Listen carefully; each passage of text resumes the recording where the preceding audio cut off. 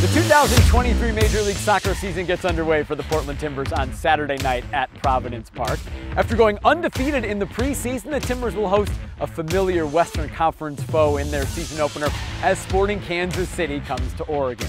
This should feature the Timbers' debut of their newest designated player, Evander. The Brazilian midfielder is the most expensive signing in club history, and he's already off to a good start at the club. In three preseason games last week at the Coachella Valley Invitational, Evander scored two goals and had one assist. The Timbers and Sporting Kansas City met twice last year in 2022, both relatively lopsided affairs. The Timbers matched a club record by dropping seven goals in a 7-2 win in May at Providence Park. But Kansas City returned the favor a bit in August winning 4-1 in Kansas.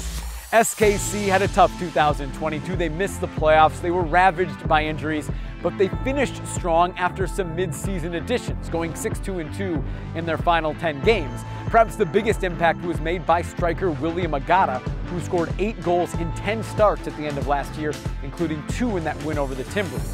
He's back for a full season this year, as is their designated player striker Alan Pulido, who missed all of 2022 with a knee injury. For the Timbers backline, it will be a tough task to begin this 2023 season. And it's a great way to get the season underway. The Portland Timbers and Sporting Kansas City from Providence Park on Saturday night at 7.30. You can watch this match and every match all season long. No blackouts, no matter where you are worldwide on MLS Season Pass on the Apple TV app.